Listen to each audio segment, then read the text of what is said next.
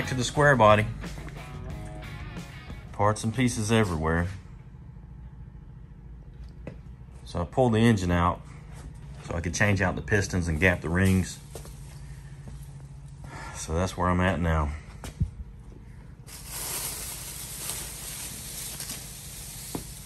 I'd like to get the engine back in the truck. I don't have a whole lot of space back here, so I want to get everything kind of together.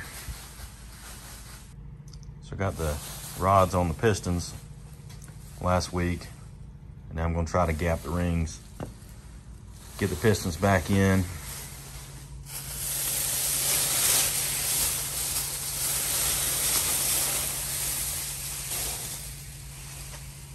See if we can get this thing back together. So gapping the rings is kind of a tedious thing. So I'm gonna try to take my time, get everything like it needs to be, clean this thing up and get it back together.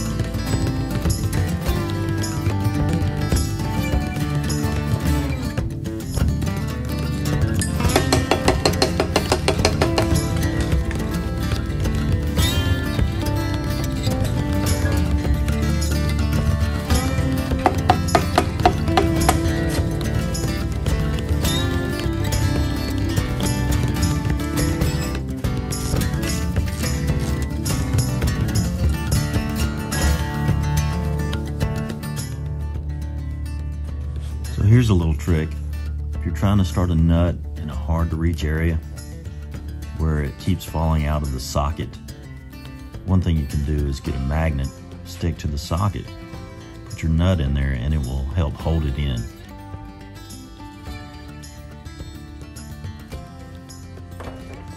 I'll show you again what I'm talking about. You take the nut, put it in the socket, stick your magnet to the back of the socket, and it's going to help hold that nut inside the socket so you can turn it upside down without it falling out. Then you can reach down in there and get it started on the stud.